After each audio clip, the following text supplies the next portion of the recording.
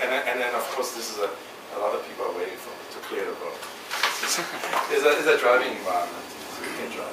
Nice. You can drive fast. Yeah, I can drive fast. And then we have, Seems like I would like uh, uh, this is a, a very large model because typically we conduct study that will last for an hour. So the people were sitting and operating vehicle for, let's say, 20 to 30 minutes. So this model is actually pretty large. The, the, from here to the foot of the mountain is about 10 miles. So Ah. a lot of streets, there are always green lights. I always do, yeah. and traffic is light, so it's, it's, it's, a, it's a great, uh, great driving experience. Can you crash it? Sure you can. What happened? Uh, no, it just goes through. Oh, it just goes through.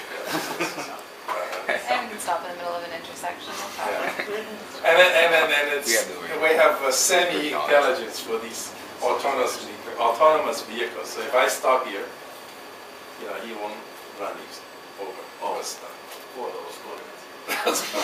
Oh, If I stop too long, you will get really irritated and will just maneuver away from, from. But anyway, so, so we provide a real, reasonably realistic environment to study new HMI modalities or features.